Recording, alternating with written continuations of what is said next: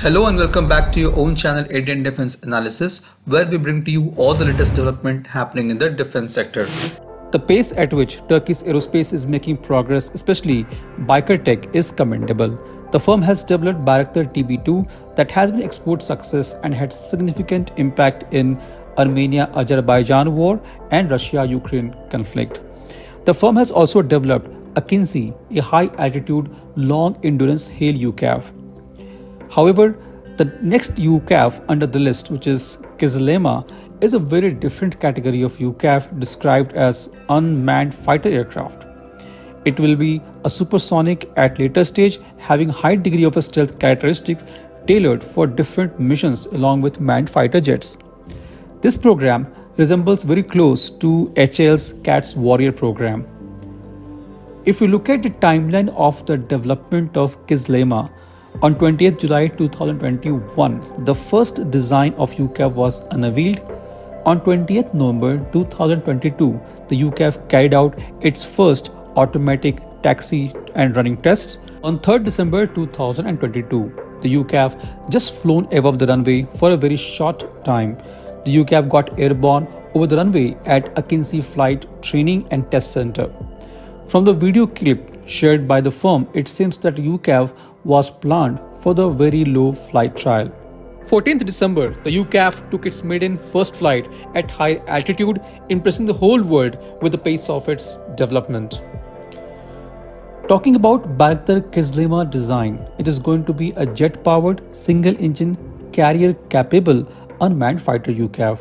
It is designed as a low observable UCAV powered by a turbofan engine and fed by two air inlets.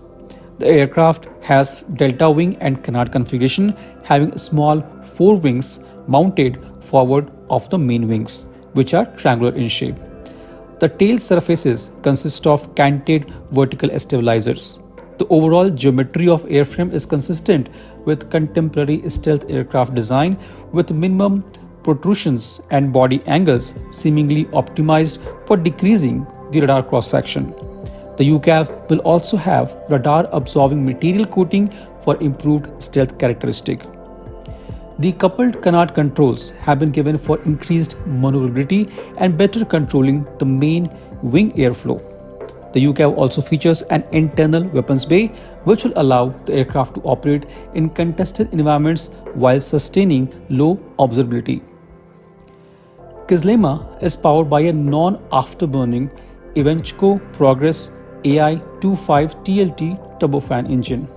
This engine is planned to be replaced in later versions by an afterburning version of Ivchenko Progress AI322F, which will aid to achieve supersonic performance. Even with a non-afterburning engine, the Kizilelma should offer impressive performance for a drone with near supersonic speed. At later stage, the twin-engine version of UCAV is also planned. The UCAV has an operational radius of 930 kilometers and operational altitude of 35,000 feet with endurance of 5 to 6 hours. The maximum takeoff weight of UCAV is 6 tons with cruise speed of 0.6 Mach and maximum speed of 0.9 Mach. Its payload capacity is 1500 kg where it can carry air-to-air missiles, air-to-surface missile, anti-ship missiles, guided and unguided bombs and anti-radiation missiles. It will also be able to carry miniaturized electronic warfare payload acting as a stand-in jammer and suppress enemy's air defenses to significantly increase the aircraft survivability. The UCAV will have an AESA radar for enhanced situational awareness. It will have takeoff and landing capability from short runways and aircraft carriers.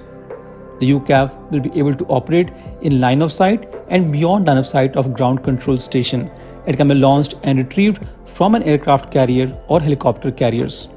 It features a retractable tricycle landing gear and for deck operation a tail hook and folding wing main planes. This was today's update. Please let us know your views on this in comment section.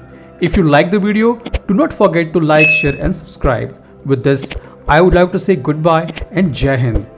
We'll soon back with more interesting and amazing development happening in the defense sector.